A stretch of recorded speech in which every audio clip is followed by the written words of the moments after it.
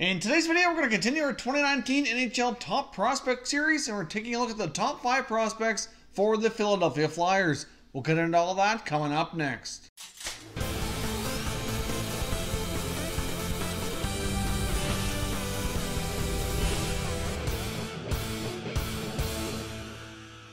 Welcome back here to Top Shelf Hockey. Now, as I mentioned, today we're covering off our top five prospects for the Philadelphia Flyers. We have plenty of other teams that have already been covered in this series, and if you're new to the series, I'll put a link up here in the YouTube cards. You can go back and watch the other teams that are already covered. And the team you're looking for is not in there as of yet. Stay tuned, they will all be coming soon. All 31 teams will have their own dedicated video. Now, the Philadelphia Flyers, in my opinion, have a terrific prospect pool. And even though not too long ago they let go of GM Ron Hextall, in my opinion, Hextall and his staff did a terrific job at drafting during his time as general manager of the Flyers. Uh, they have a lot of good young players in the prospect pool here. So let's take a look at who are the top five, in my opinion, for this Flyers team.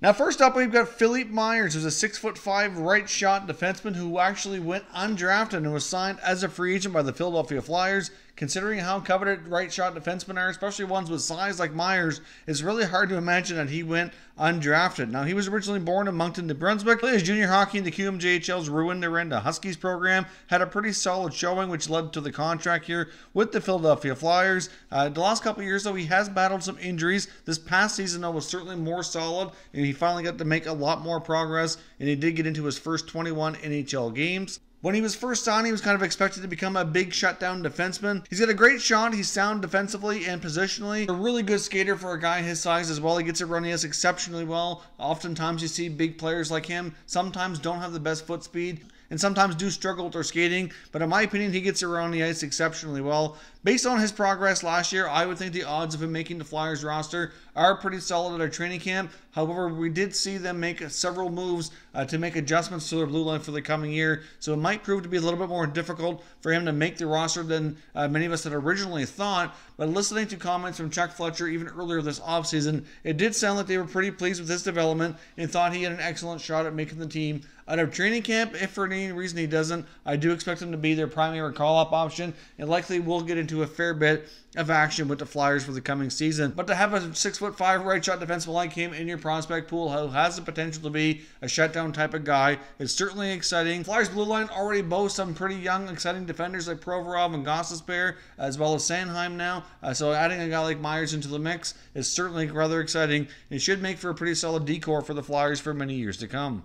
Next up, we have 2016 first round selection German Rubtsov, who's now 21 years old. Looks like he was drafted number 22 overall back in 2016. Played his junior hockey for the Acadie Bathurst Titan. Had a chance to play for the Memorial Cup uh, two seasons ago, which was a great experience for him. He ended up putting up 32 points in 38 games during that season of junior hockey and put up a couple more points during the Memorial Cup tournament as well. Now, last year, unfortunately, was not great for him. Uh, early into his stint in the American Hockey League, he was injured, uh, had a shoulder injury, and ended up missing the rest of the year after only playing 14 games. Now, during those 14 games, he did put up 10 points and got off to a pretty decent start here uh, to his pro career. Hopefully, after recovering from surgery and heading into training camp for the upcoming season, we can see him kind of pick off where he left off and kind of resume his pro career. More than likely, he will start again in the American Hockey League, but he is a really strong defensive, strong two way player. In my opinion, he kind of projects to be probably your prototypical third line type of forward. He can play center, but he could end up being a winger at the NHL as well. Hard to say exactly right now, but he's got good hockey sense. He works hard, strong defensive two way player with some decent offensive upside. So, like I said, I think he's your prototypical middle six type of center, probably more like a third line guy, but he is going to have trouble making the Flyers roster. They are pretty deep with the additions that they've made over the last couple of years, plus the other guys ahead of him here on the depth chart. So it's certainly going to be interesting to see how he tries to find uh, his way onto this roster, onto this team to create some NHL opportunity. But he is a pretty solid, interesting prospect for the Flyers. Next up, we have 2017 second round selection from the OHL, Isaac Ratcliffe, who's now 20 years old. Had a couple of really solid years playing for the Guelph Storm in the Ontario Hockey League. He's got really good size, six foot five, over 200 pounds. He put up 82 points in 65 games played last year in Guelph. Got a chance to play in the Memorial Cup again, which is a terrific experience. Any player who's had the opportunity to play in that tournament uh, can certainly benefit from that extra experience. So not only did his team have a terrific regular season and playoff, won the OHL championship, but also uh, competed for the national championship as well, which was a great season overall for himself and his team, but he certainly has the potential to become a big power forward. He's a great skater, moves around the ice well for his size. He's really smart, has great hockey sense, and he's got a pretty solid two way game as well. More than likely, Ratcliffe starts in the American Hockey League uh, because of where everything's at with the Flyers roster. I just don't see him getting a shot right out of training camp. Uh, but obviously, this will be his first year in pro hockey, so we'll see how the adjustments are made. Um, a lot of guys coming in a junior sometimes start a little slower, but sometimes they pick up right where they left off, in the offensive game translates immediately. So it'd be interesting to see how Ratcliffe does. But I think he's likely going to start in the AHL and see if he can earn himself an opportunity down the road. But he's another power forward type of winger with big size and offensive upside here to add to this prospect pool Next up, we have 2018 first round selection taken number 14 overall out of the United States National Team Development Program, Joel Farabee, who's now 19 years old. Uh, of course, after being drafted from the United States program, uh, went on to play for Boston University last year, first year of college hockey. Things went relatively well. He put up 36 points in 37 games, but then elected to leave school and sign his pro NHL contract with the Philadelphia Flyers. So, of course, now he'll either be in the NHL or the American Hockey League for the coming year. But Joel Farabee was a terrific draft choice back in 2018. Uh, he's a natural goal scorer. He's going to be a terrific winger for the Flyers in the the not too distant future. I really think Farabee has a shot to make this roster out of training camp. Uh, between him and the next guy we're going to talk about, I think are going to be the youth that's injected into this roster in the very near future, either out of training camp or throughout the season, as uh, depending on where the team's needs are with injuries and everything. But the thing about Farabee is he's not just a goal scorer. He's not like a one-trick pony here. He's also really good on the PK. He's not afraid to block shots. He's a high-energy, hard worker kind of player. He play with a lot of pace and a lot of tempo, and certainly get his teammates going that way. Uh, he could certainly use a little bit more muscle though, which might be what he needs to be more successful at the NHL. Decent height at six feet tall but he was only 165 pounds, uh, so certainly could add a little bit of muscle to that frame to make him a little bit more rugged for the NHL pro game, which is certainly you know more physical than what he's used to. So I guess we'll see how that goes. But certainly size is not as big a factor as it used to be in this league. Obviously, when you get speed and skill and you're a natural goal scorer, things can typically work out quite nicely for you, and that's kind of where Farabee uh, slots right now. But if you can add a little bit extra size there, that might go a long way just to solidify things for him. But Farabee's definitely a great prospect for the Flyers to keep your eye on.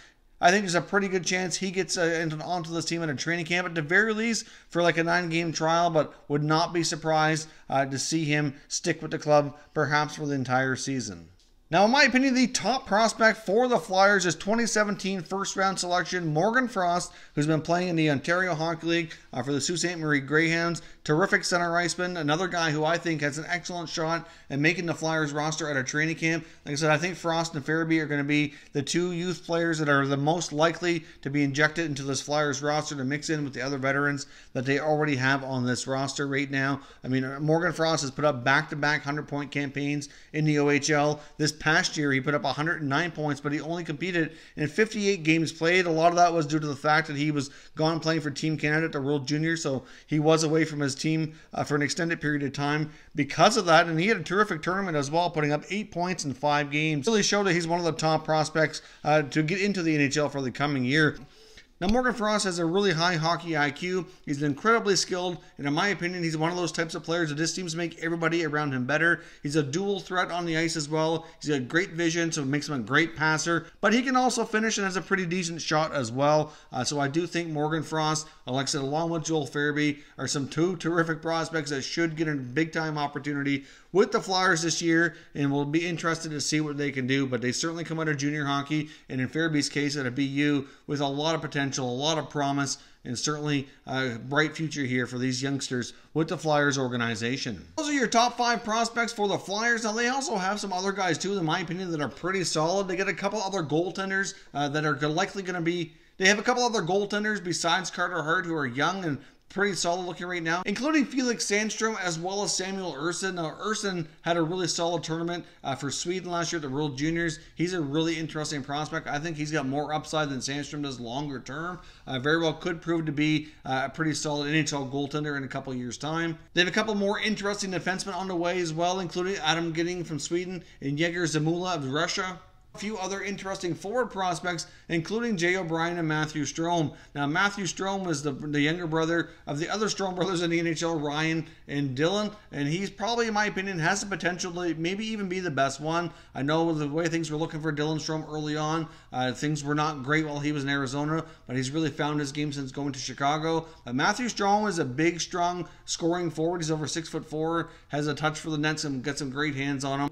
So I am very interested to see what he can do, uh, given some opportunity as well. I think he's a guy to kind of keep your eye on. I mean, I know the Strome brothers have not made the greatest name for themselves so far in the NHL, but I do think he might just have the most upside amongst the three. But I guess only time will tell how they all develop. If Dylan Strome continues uh, to produce for Chicago uh, with linemate Alex DeBrincat like he did last year after being traded there, then maybe living up to those expectations might be a little bit more difficult. But either way, Matthew Strome's another interesting prospect for the Flyers. Now, even after all those great prospects for the Flyers, they still have a couple more interesting top guys as well from the 2019 NHL draft, including defenseman Cam York and forward Bobby Brink. Now, in the case of York, you get a prototypical new age defenseman who's a great skater, moves the puck very quickly and efficiently. He's originally from Southern California, who was one time coached by former NHLer and Hall of Famer Scott Niedermayer. So hopefully, uh, if his influence worked off on York, uh, and he turns out to be anywhere near that caliber of defenseman, then he'll be pretty awesome. Now, he's unfazed by pressure. He's a great playmaker, good in the power play. So he certainly has a lot of potential as well. He will be playing U.S. college hockey uh, for probably a couple years before he makes the jump to the NHL. So the only reason I don't have him included in your top five is just I think he's going to be a little bit further away from making a jump here to the NHL. Now, in the case of Bobby Brink, you get another American born forward who's a little bit smaller, 5'8, around 165 pounds, but he's got great vision, great anticipation. He scored really well during his days in the USHL, very high hockey IQ, but his skating does need some work as well. He's another American born player going through the U.S. college hockey system who has committed to playing for the University of Denver. So again, I do think he has some a lot of potential upside, but I do see him being a couple years in college hockey and probably being at least two or three years away from the NHL. Overall, I think they have one of the deeper, more offensive minded prospect pools amongst all the NHL teams. At the end of the series, I do intend to rank all 31 teams' prospect pools against each other and come up with a list of 1 through 31. And it will not be surprised at all if the Philadelphia Flyers end up pretty high in that list because they do have a lot of top notch guys that are knocking on the NHL's door and likely could be big time impact players in the not too distant future. So, those are your top prospects for the Philadelphia Flyers. Of course, as always, we'll know your thoughts and opinions on these guys down in the comment section. Which prospects do you think are the most likely to have an impact on this team short term as well as longer term into the future? If you're new to the channel, consider subscribing and turning on your notifications so you don't miss any future content. Give this video a thumbs up if you enjoyed it. I'd appreciate it if you did. As always, thank you for watching, and I will catch you next time.